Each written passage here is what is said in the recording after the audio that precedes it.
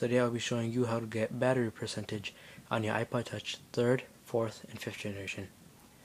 First what you're going to want to do is go on Cydia and download something called iFile. And I'll be showing you guys how to do that right now. So you're going to go on Manage, Sources, Edit, Add, and you're going to type in repo.insanelyi.com and you're gonna go ahead and click add source but I'm not gonna do that since I already have it added. So when you after see it will be right there.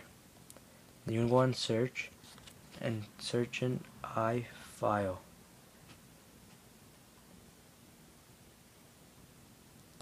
And you download the second one. So after you download it it will be there.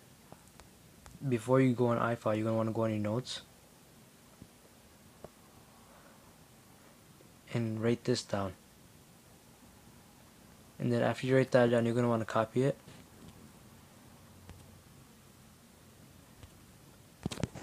And go on iFile. You're going to click home and go var. You're going to go all the way back. And go on system, library, core services, springboard.app. You're going to scroll down till you find N81 right there. N81ap.plist you want to click text viewer edit search. You're gonna write this down. Key game kit. It'll be right there. And click return. Click a few spaces. You're gonna want to paste it. You're gonna click save done and then you're going to want to respring it. After you respring it or reboot it best to do is reboot. After you reboot it you're going to go on settings.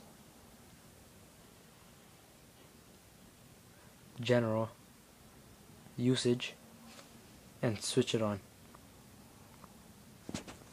That's the end of the video. Make sure to like comment and subscribe to this channel. Peace out